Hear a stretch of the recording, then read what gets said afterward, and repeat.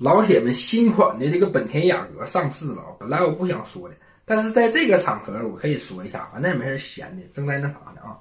那个怎么有信心卖二十多万呢？高配还卖二十六万，而且他那高配我看了一下，都没有十多万的国产车好，真的都没有什么艾瑞泽八呀、什么吉利星瑞呀，是不是啊？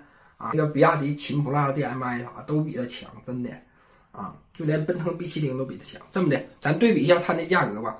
那个本田雅阁最新款对比这个比亚迪汉那个那个冠军版啊，DM 呀，咱们看一下啊，老铁们看着啊，左边本田雅阁刚上市的，卖二十多万买它，真的我就不说啥了，外形丑，内饰也丑，科技配置低，然后动力也不行啊，然后再看这个右边二零二三款比亚迪汉 DM 啊，冠军版 DM-i，简直就是无敌，来看一看行驶的情况啊，咱们对比一下。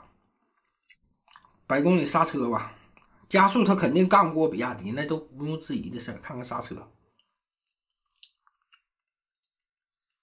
啊，我咋这么不相信它刹车性能能比这个汉好呢？简直就是扯淡！反正大家参考一下嘛。看看外形，那外形那雅阁简直就是跟什么……哎呀，不说了，啊，比亚迪汉比它强太多了。还比它便宜，还比它好，不是本田雅阁哪有信心卖二十四五万、二十五六万呢？买它的人是不是脑袋让驴踢了呢？我在想，嗯，回来，尺寸看尺寸对比啊，四米九八，四米九七五，差不多。宽度呢？宽度汉就比它宽多了，一米九一，它才一米八六。高度呢？高度也不行啊，低了四十六毫米呢。怎么看都是选比亚迪汉，没有任何理由选个雅阁，而且还给鬼子送子弹，是不是？脑袋是不是让驴踢了？对不对？来，颜色看一看，这个颜色跟这颜色看一看，红的？怎么看都是比亚迪好看啊。内饰来比一下。